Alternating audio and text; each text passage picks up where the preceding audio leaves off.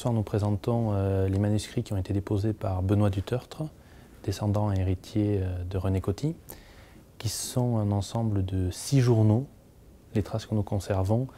des, écrits quotidiens que quasiment tous les soirs, voire tous les jours, René Coty tenait en déplacement au Havre ou à Paris. René Coty est connu pour être le dernier président de la quatrième, dont le principal acte politique a été de procéder au rappel du général de Gaulle suite à la crise du 13 mai 58. En réalité,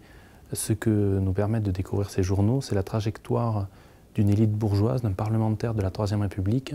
originaire du Havre, promu en grande partie par l'école républicaine puis par son cursus honorum d'avocat,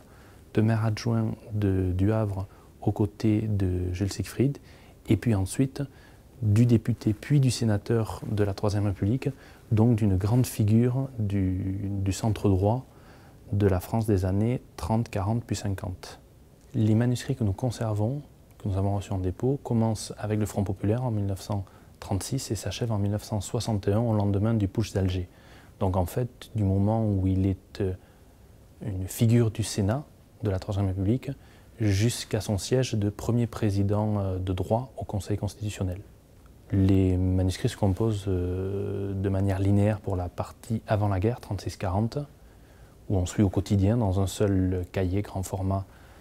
ses pensées, ses réflexions, ses écrits euh, de manière très continue, très littéraire, tandis qu'avec l'arrivée de la guerre, eh bien René Coty, voyageant entre Le Havre et Paris, partageant euh, son temps dans une France occupée, eh bien on a trois dont deux de poche, qui manifestement étaient emportés en poche revolver, lui permettaient d'écrire ses pensées, sont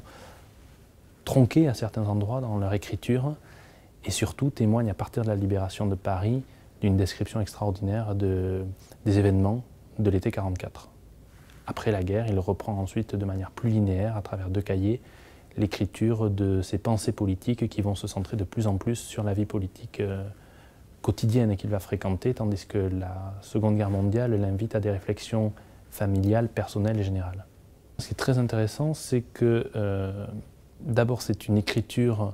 qui est entre l'écriture du moi qu'on redécouvre, et puis d'autre part, on voit que c'est un esprit euh, qui réfléchit en permanence à la réforme constitutionnelle en France. La grande nouveauté, c'est qu'il alterne, il y énormément, et il alterne son temps entre réflexion quotidienne, que fait ma famille quand je suis à distance, notamment pendant la guerre, les inquiétudes qui peuvent être liées au bombardement du Havre,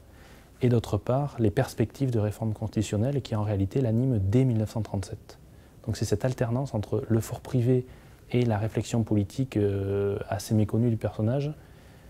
que nous permet de découvrir ces carnets.